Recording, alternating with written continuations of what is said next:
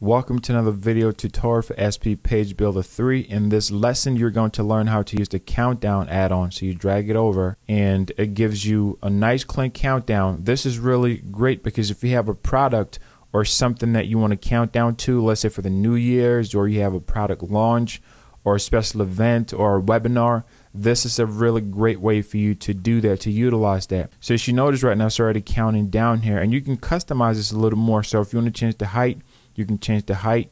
Now this is based on the layout of your website. There are times when you want to be able to, you know, add and take more. If you can change the width, you want it to expand, expand like that. You can change the font size of it a little bigger. So if you make the font size bigger, then you can move things around and then you can open it. So if you're trying to cover a lot of ground and you want something that pops up very, very big like this, uh, you can do that. And you can change the date format here. So you can change what date uh, that this shows up on. So you have the, the year, so let's say 17, and then we want to change this uh, to 12, and we want to change this to 31st. So right now we'll just changed that date to December 20, December uh, 31st of 2017, and it changes nice and neat.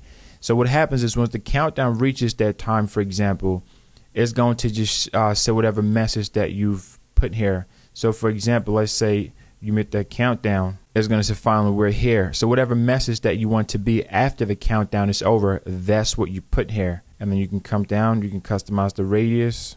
You want it to look like that. You can change the label size to make it a little bit bigger or smaller. And then you can change the label colors as well. So you want to put something a little bit different uh, based on a certain design. So if you're designing something and you want to match uh, a certain look, uh, then this is really great for you to do that here. So go ahead and try that and see what you come up with. If you have any questions, please feel free to let me know and I'll do the best that I can to help you. Thanks again for watching this video. Make sure to hit that subscribe button so anytime that I release another video like this one, you're going to be the first person to get access to it.